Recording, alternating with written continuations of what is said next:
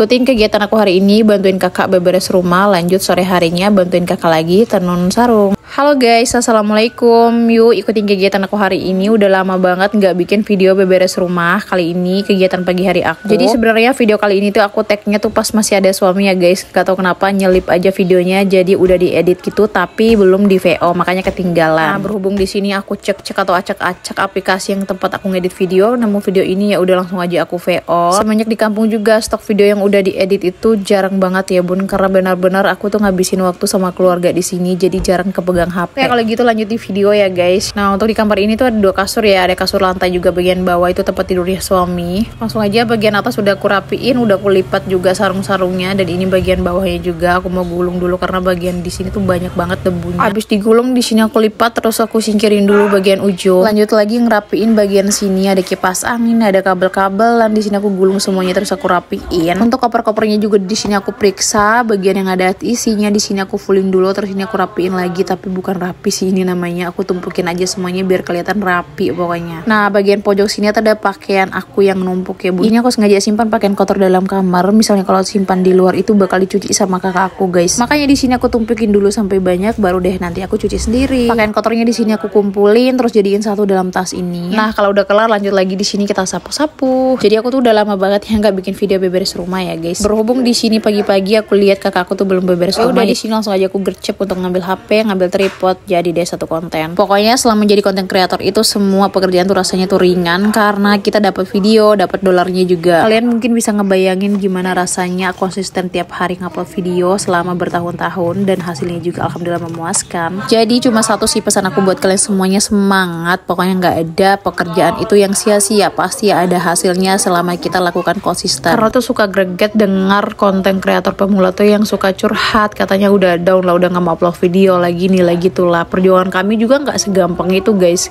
Kita tuh bertahun-tahun baru bisa ngerasain gaji sebanyak ini. Jadi stop pengen gaji banyak tapi nggak mau konsisten ya. Oke kalau gitu kita lanjut lagi ya di videonya. Sekarang aku melanjut lagi untuk sapu-sapu. Ya Allah udah biasa sapu-sapu rumah aku yang kecil mungil. Di sini aku sapu-sapu rumah kakak kayak sampai encok gitu. Ini tuh baru dua kamar ruang tengah sama teras samping aja. Udah capek banget udah keringatan udah kelar rapiin dua kamar lanjut lagi di bagian teras ini. Dan sekarang aku menuju ke lorong yang menuju dapur. Gak lupa di sini masuk juga bagian kamarnya aku sapu-sapu tapi nggak sampai full gitu sih sapu-sapunya. Guys bagian depan-depannya aja untuk kamarnya sini juga masih berantakan. Udah bersih bagian sini lanjut lagi. Di sini aku mau sapu-sapu bagian dapur. Karena di sini tumben-tumbennya kakak tuh pagi jam segini tuh belum bersih rumahnya. Biasanya pas kami bangun tidur itu di sini rumahnya udah kinclong guys. Oke udah bersih dapurnya lanjut lagi di sini tutup pintu. Karena kalau dibuka itu bakal masuk ayam-ayam yang ada di samping rumah sana. Sapu-sapunya nggak sampai situ aja. Di sini aku lanjut lagi di ruang tamu. Untuk ruang tamunya ini karena sempit jadi cepat aja. Tapi mohon maaf sebelumnya guys untuk VO nya mungkin ini cara bicara aku agak cepat karena durasinya di sini aku agak cepetin oke udah bersih ya bagian ruang tengah sekarang. Yang terakhir di sini adalah teras bagian depan. Karena yang tadi itu teras sampingnya bu. Nah kalian bisa lihat sendiri pak suami masih ada di sini loh. Sementara video pulang kampungnya udah kutayangin dua hari yang lalu. Oke alhamdulillah bersih bersih rumahnya udah kelar. Lumayan encok juga ini keringatan juga. Dan di sini masih ada mama aku yang lagi baring-baring di dalam kamar juga tuh masih ada papa ya guys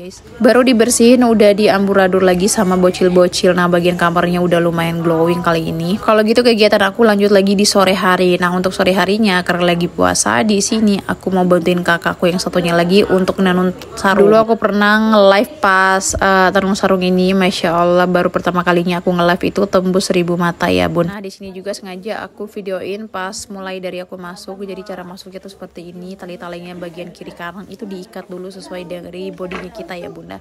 Habis itu kita turunin bagian kayak gini terus kita mundur. Dah itu kita siap-siap terus geser-geser.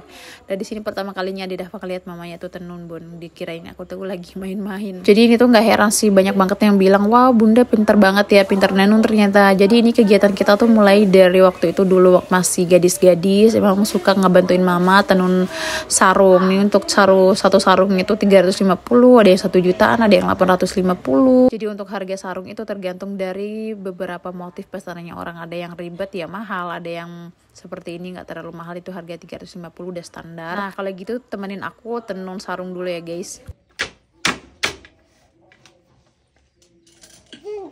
Jeli. Mana jeli kau? Mana jeli? Di sana.